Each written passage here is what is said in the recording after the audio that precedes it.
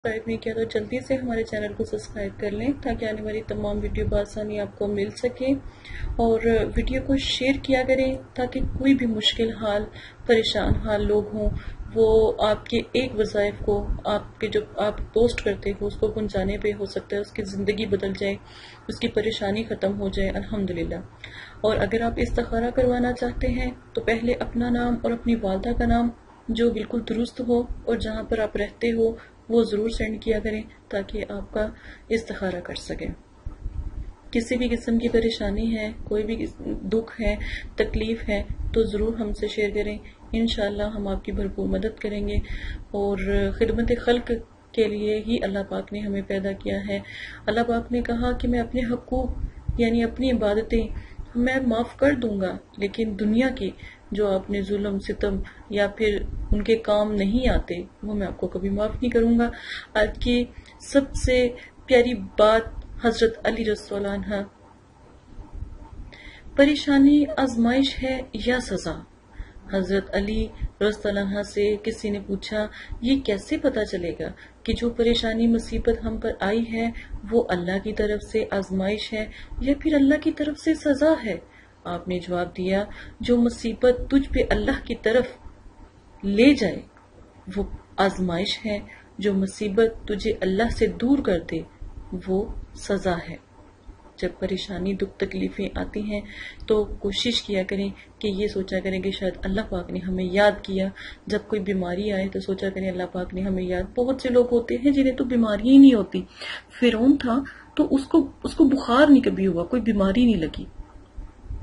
تو آپ تو شکر ادا کیا کریں کہ اللہ پاک نے آپ کو یاد کیا، آپ کو اگر بخار ہوتا ہے، کوئی تکلیف ہوتی ہے، درد ہوتا ہے، آپ کو پتہ ہے، بخار اور تکلیف میں جب کبھی آپ کو تکلیف زیادہ ہو رہی ہو تو اس سے آپ کے گناہ جتنے بھی زیادہ ہوں وہ جھڑتے ہیں۔ تو تکلیف پریشانی پہ بالکل بھی نادم پشے ماننا ہوا کرے نہ ہی کوئی غلط بات، کوئی غلط دعا کیا کریں، اللہ پاک ناراض ہوتے ہیں۔ کسی شخص سے اپنا کام لینے کے لیے آج وظیفہ میں آپ کو بتانے لگی ہوں۔ صرف یہ وظیفہ آپ پڑھ لیں اور پھر دیکھیں، انشاءاللہ بڑے سے بڑا آدمی آپ کی بات بھی مانے گا اور الحمدللہ آپ کا ہر کام کرے گا۔ الحمدللہ اگر کسی نے جاب لینی ہو یا کوئی ایسی ایسا مسئلہ ہو، آپ کسی جاب ملازمت کرنا چاہتے ہوں، وہ جاب آپ کو نہیں ملتی۔ تو آپ یہ وظیفہ تب بھی کر سکتے ہیں، الحمدللہ اللہ کے حکم سے، جیسا آپ چاہیں گے، ویسے اللہ پاک آپ کو عطا کریں گے۔ نیت والمراد ہوتی ہے تو آپ کی نیت اگر اچھی ہے تو انشاءاللہ ہر کام آسان ہو جاتا ہے۔ لیکن ایک بات یاد رکھیں، وظیفے کا غلط استعمال نہیں کریں۔ آج جو میں وظیفہ بتانے لگی ہوں، بہت پیارا ہے، بہت لاجواب ہے۔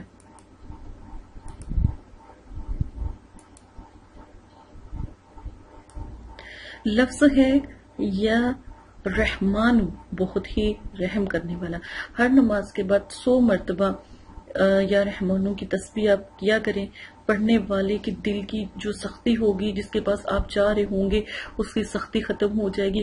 آپ بے شک یہ وظیفہ جب جانے لگیں تو آپ یہ وظیفہ کر کے جائیں۔ یا رستے میں چلتے ہوئے کر لیں۔ یا رحمان الرحمان الرحمان پڑھ سکتے ہیں۔ یا رحمان پڑھ سکتے ہیں۔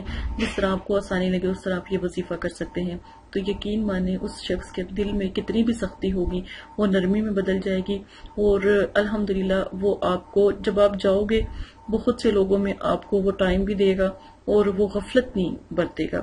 آپ کو دیکھ کے یا آپ سے جو ہے آپ کو اگنور نہیں کر سکتا۔ یہ وظیفہ آپ کس کس وقت کر سکتے ہیں؟ نمبر ایک، جب ایسا ہوتا ہے کہ جب خدا نہ خاصا کسی بچی کا رشتہ نہیں ہو رہا ہوتا نا، تو آپ چاہتے ہیں کہ اس گھر میں آپ کا جو ہے، آپ رشتہ لے کے جائیں، تو تب یہ وظیفہ کر سکتے ہیں، پہلے ہی پڑھ سکتے ہیں۔ کسی کے دل میں محبت پیدا کرنے کے لیے یہ وظیفہ پڑھ سکتے ہیں۔ اگر وہ سامنے بیٹھا ہے، وہ آپ سے ناراض ہے یا آپ سے کڑی بات کرتا ہے، تو آپ یہ وظیفہ پڑھ لیا کریں۔ انشاءاللہ وہ آپ سے بالکل بھی سخت دلی سے بات نہیں کرے گا، بلکہ اس کے دل میں رحم آئے گا، سختی ختم ہو جائے گی اور وہ آپ سے ٹھیک طریقے سے بات کرے گا۔ ٹھیک ہے؟ اگر آپ اس طرح بھی نہیں کر سکتے، تو آپ ایسا کیا کریں، کوئی مطلب کہ ایسا کوئی آئل ہو جو آپ اپنی اسکن پہ یوز کر لینا تو اس کے اوپر آپ یہ سو مرتبہ میں نے آپ کو بتایا نا، کسی ملازمت کے لیے یا نوکری کے لیے جانا ہے تو سو مرتبہ پڑے۔ لیکن اگر آپ کسی جو آئل ہے تیل ہے، اس کے اوپر میٹھا جو ہوتا ہے، جو چہرے کے اوپر سکن کے لیے ہوتا ہے، زیتون کا تیل ہلکا سا آپ چہرے پہ لگا سکتے ہیں، تو وہ آپ تیل لے لیں۔ اس کے اوپر آپ نے صرف اور صرف تین سو گیارہ مرتبہ یہ پڑھنا ہے۔ پڑھ کے آپ نے تیل کے اوپر دم کر لینا ہے۔ بس جس کے سامنے آپ نے جانا ہے، الحمدللہ وہ آپ سے مسخر ہوگا، آپ سے محبت کرے گا، اس کے دل کی سختی ختم ہو جائے گی، وہ بہت، یہ کسی بھی غرض کے لیے آپ استعمال کر سکتے ہیں، لیکن نجائز استعمال نہ کریں۔ اللہ کا کلام ہے تو بناؤز بلا ہم اس کا غلط استعمال نہیں کر سکتے کیونکہ ہم مسلمان ہیں۔ تو اس بات کا خاص خیال رکھا کریں۔ اور اگر آپ استخارہ کروانا چاہتے ہیں یا کوئی مسئلہ ہے، آپ کے ساتھ کوئی پریشانی ہے، تو آپ ضرور رابطہ کریں۔ اور ہمارے جتنے بھی وظائف ہیں، وہ لوگوں تک پہنچائیں۔ انشاءاللہ اللہ پاک کرم کریں گے آپ کے اوپر بھی، اور انشاءاللہ ہم بھی آپ کی ضرور مدد کریں گے ہر مشکل میں۔ اور اگر آپ توکل مضبوط اپنے رب پر رکھتے ہیں، اجازت دے اپنا خیال رکھیے گا۔ اللہ حافظ۔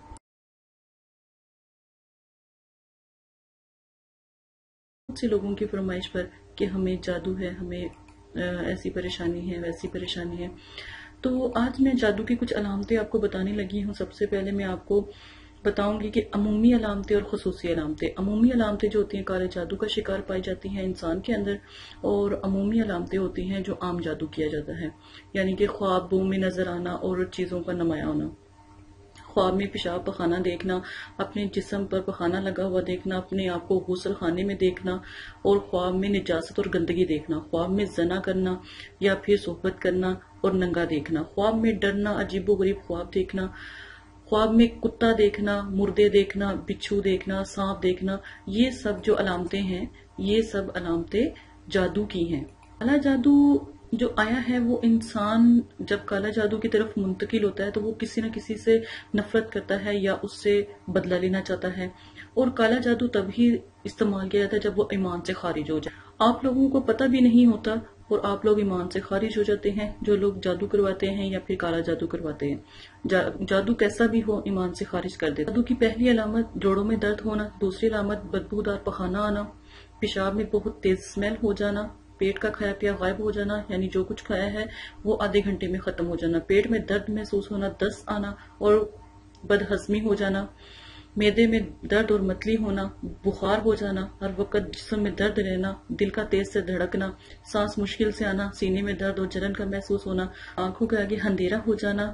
اور جسم کی رگوں کو تکلیف پہنچنا، نزلہ زکام، اس قسم کی چھینکی آنا جو پہلے آپ کو کبھی بھی نہیں آئی عجیب و غریب سی بدبو آنا، کھانے میں اسمیل ہو جانا، نماز میں نہ دل لگنا اور قرآن پاک پڑھیں تو دل کرنا کہ بند ہو جائے اور پورے جسم کا ہر وقت گرم رہنا، ناک کا گرم رہنا، توبہ نعوذ باللہ نماز سے دوری ہونا اور رسول کریم صلی اللہ علیہ وسلم سے توبہ نعوذ باللہ نفرت ہونا، دل میں اسلام کی عبادت نہ ہونا اور عبادت کو برا سمجھا جانا۔ کاہلی اور سستی رہنا، ہاتھ پیر سون ہو جانا، جسم پر نیلے نشان پڑتے چلے جانا، سر بھاری رہنا، جسم میں سردی کا محسوس ہونا، دن ب دن جسم کا سوکھنے شروع ہو جانا، بلا وجہ تھکاوٹ کا محسوس کرنا، بغیر کسی وجہ کے جسم میں کمزوری محسوس کرنا، کھانے سے پہلے یا کھانے کے بعد منہ سے اسمیل آنا اور عجیب و غریب سی اسمیل یا بدبو آنا، حلق میں عجیب و غریب سی اسمیل کا ہو جانا، اور آنکھوں کے سامنے گلابی یا نیلے رنگ کے ڈبے سے نظر آنا، عجیب سی لائنیں، آنکھوں کے سامنے کالے رنگ نظر آنا یا سیاہ رنگ گھومتا ہوا نظر آنا، جیسے کوئی پنکھا چل رہا ہے ہیلی کاپٹر چل رہا ہے، عجیب و غریب سی آوازیں آنا،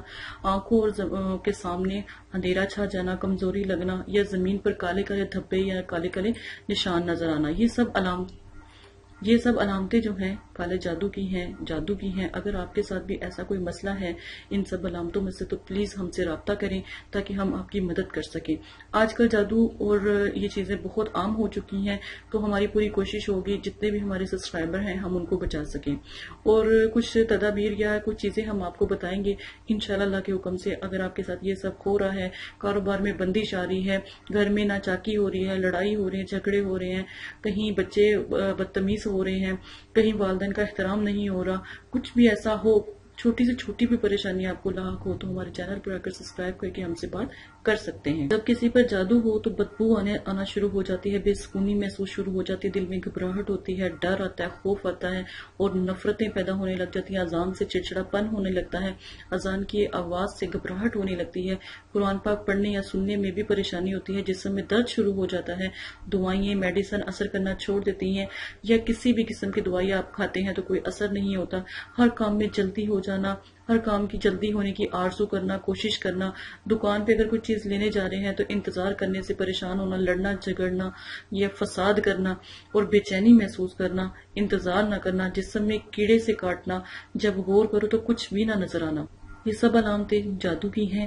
سر میں درد رہنا، کمر میں درد رہنا، گھٹنوں میں درد رہنا، پاؤں میں درد رہنا، جسم کے ہر حصے میں درد اور تکلیف ہونا، آنکھوں کے آگے جلن اور سرخ رنگ رہنا اور بار بار آپ کو ایسے محسوس ہونا جیسے آپ کو کوئی جھٹکا دے رہا ہے یا کوئی دھکا دے رہا ہے۔ اس طرح کی علامتیں بھی جادو کی علامت آپ سب سے گزارش ہے جلدی سے ہمارے چینل کو سبسکرائب کر لیں تاکہ اگر آپ کے ساتھ اس طرح کی پریشانی ہے تو ہم آپ کی بھرپور مدد کر سکیں۔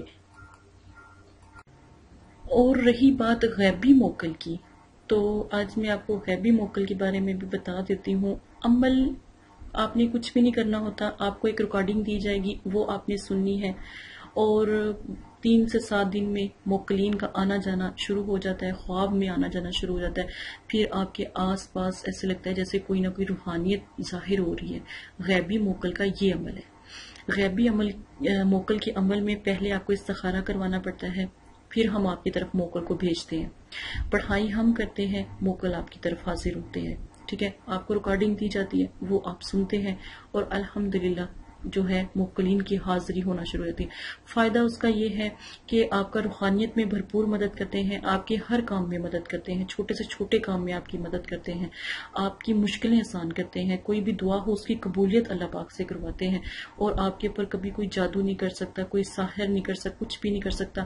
آپ کی بھرپور مدد کرتے ہیں۔ غیبی موکل آپ کو رجت سے بچاتے ہیں۔ اگر عملیات کرتے ہیں تو غیبی موکل عملیات میں کامیابی کے لیے آپ کے ساتھ دیتے ہیں، الحمدللہ۔ تو غیبی موکل کا عمل ضرور کریں۔ عملیات سے پہلے آپ سے گزارش کی جاتی ہے۔ اگر عمل کرنا چاہتے ہیں تو غیبی موکل کا عمل پہلے کریں۔ آپ کہاں رہتے ہیں؟ آپ کا نام، آپ کی والدہ کا نام آپ ضرور سینڈ کریں تاکہ آپ کا استخارہ پہلے کیا جائے۔ بہت سے لوگوں کی غیبی موکل میں جو ہے میلز آئیں، لیکن جس جس کا نصیب تھا، یہ جس جس کے نصیب میں پڑھائی تھی، ہم نے صرف ان کو دیا ہے۔ تو اگر آپ بھی عمل میں شامل ہونا چاہتے ہیں، غیبی موکل کا عمل لینا چاہتے ہیں، تو آپ بھی بھرپور حصہ لیں۔ انشاءاللہ آپ کے ساتھ بھی آپ کا حساب کیا جائے گا، استخارہ کیا جائے گا۔ اگر آپ کو اللہ پاک نے اس چیز کا شرف دیا ہے، تو ضرور آپ یہ عمل کریں۔